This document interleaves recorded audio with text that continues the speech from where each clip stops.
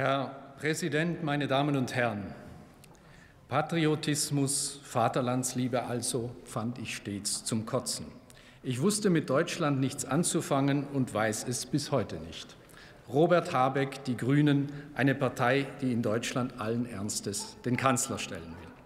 Nächstes Zitat. Eine spezifisch deutsche Kultur ist jenseits der Sprache schlicht nicht identifizierbar. Aidan Ösus, SPD, ehemalige Integrationsbeauftragte des Bundes. Und drittens noch, wir haben alle die Bilder vor Augen, wie Kanzlerin Merkel auf der Wahlparty der CDU nach der Bundestagswahl 2013 eine Deutschlandfahne indigniert in einer Ecke entsorgte. Drei Szenen, ein Befund. Ein Land, in dem höchste politische Vertreter eine derartige Mentalität an den Tag legen, leidet unter einer schweren Identitätsstörung, meine Damen und Herren. Während die herrschende Klasse und die Meinungsmacher sich für die Identität anderer Völker und Kulturen, für die Identität von Minderheiten im eigenen Land bei jeder Gelegenheit vehement ins Zeug werfen, klafft dort, wo das eigene sein sollte, zumeist nur ein schwarzes Loch. Und jeder, der die Begriffe Volk, Nation, kulturelle Identität positiv versteht, läuft Gefahr, als Nazi diffamiert zu werden. 2017 schrieben die Grünen an den Deutschen Kulturrat, ich zitiere, wir unterstützen, dass in den Thesen des Kulturrats der Begriff der Leitkultur vermieden wird. Denn in der Kultur darf es keine Grenzen geben, die im Namen einer angeblichen kulturellen Identität darüber bestimmen, wer dazugehört und wer nicht. Zitat Ende.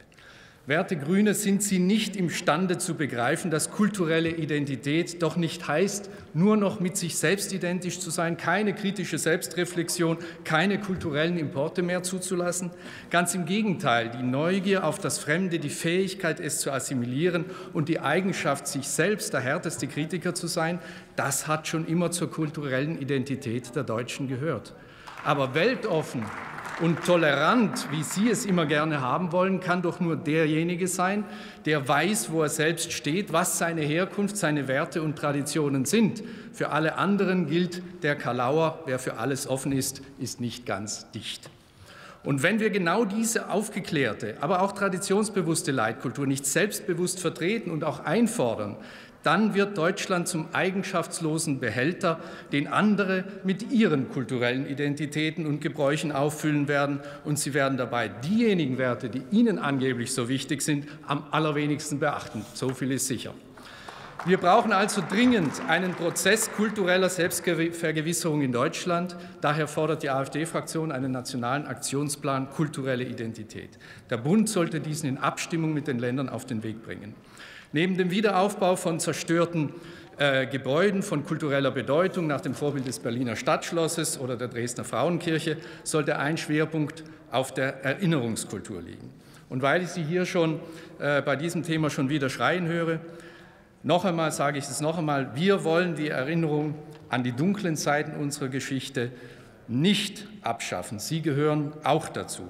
Aber wie der Schweizer Schriftsteller Adolf Muschk schon vor 40 Jahren mit Blick auf die Identität der Deutschen sagte, es ist eines, die Quittung der Geschichte zu unterschreiben als ehrlicher Schuldner.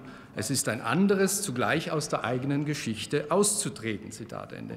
Und wer eben nur bis 1933 zurückdenken kann oder neu, neuerdings bis in die deutsche Kolonialgeschichte, der schneidet den tiefen Geschichtsraum ab, aus dem wir kommen und den der Brite Neil MacGregor in seiner fantastischen Ausstellung Deutschland Erinnerungen einer Nation so eindrucksvoll aufbearbeitet hat. Das, meine Damen und Herren, sollte eigentlich auch als deutsche Eigenleistung möglich sein und es sollte zum selbstverständlichen Bildungsgut aller Deutschen werden.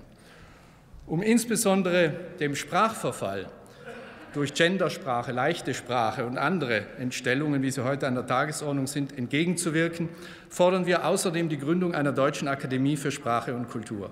Mit Sitz in Berlin sollte sie aus unabhängigen Persönlichkeiten bestehen, die sich um die deutsche Sprache und Kultur verdient gemacht haben und die nach dem Vorbild der Akademie Française auf Lebenszeit gewählt werden.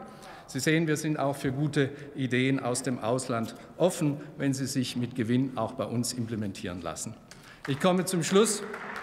Meine Damen und Herren, wir reagieren mit diesen Anträgen auf eine linke Kulturrevolution. Kollege Renner hat vorhin auch schon davon gesprochen, die mit Cancel Culture, Denkmalstürzen und immer offenerer Verachtung äh, von Kulturleistungen der Vergangenheit derzeit in eine heiße Phase eintritt. Von Grünen, Linken und SPD erwarten wir nichts anderes als heftigste Ablehnung, denn sie sind der politische Arm dieses Kurses der kulturellen Deutschlandabschaffung. CDU und FDP hingegen hätten heute wieder eine Gelegenheit Kollege, zu beweisen, dass sie noch nicht völlig auf die linke Seite gekippt sind. Glück auf!